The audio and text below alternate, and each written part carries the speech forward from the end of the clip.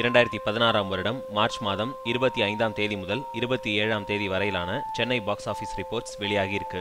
ஐந்தாவது இடத்துல காதலும் கடந்து போகும் திரைப்படமும் நான்காவது இடத்துல ஜீரோ திரைப்படமும் மூன்றாவது இடத்துல காளி திரைப்படமும் இரண்டாவது இடத்துல ஹாலிவுட் திரைப்படமான பேட்மேன் வர்சஸ் சூப்பர்மேன் திரைப்படமும் முதலாவது இடத்துல நடிகர்கள் கார்த்தி மற்றும் நாகார்ஜுனா நடிப்பில் வெளிவந்த தோழா திரைப்படமும் இடம்பெற்றிருக்கு.